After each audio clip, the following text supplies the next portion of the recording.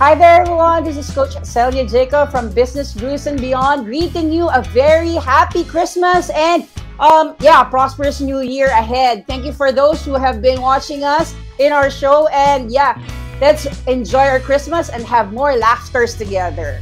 See you again soon.